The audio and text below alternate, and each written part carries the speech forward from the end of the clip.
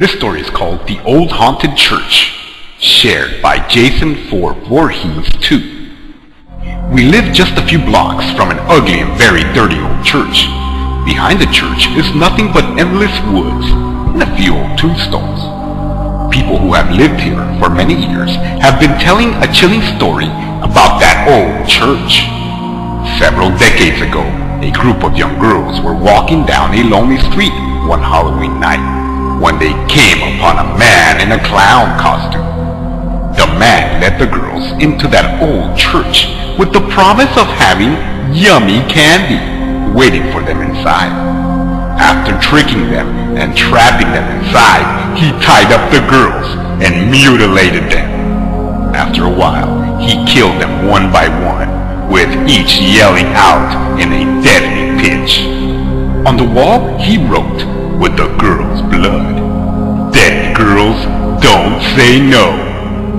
The next day was a Sunday, and the priest walked in to discover the horrible sight of what had happened the night before.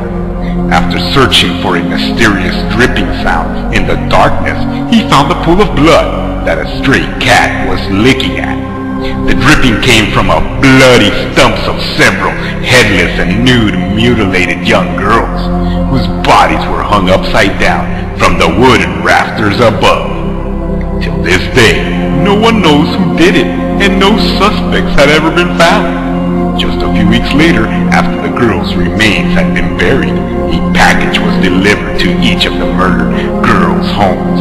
And when their parents went to open the boxes, their screams could not withstand their ghastly horror. In each of the boxes, there contained one of the girls' badly decomposed severed head. It is said that the four little girls were buried in a small cemetery in the woods behind the church.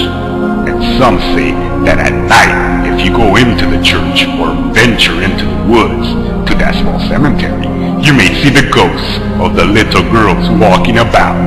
Others say you can still hear their screams echoing in the dark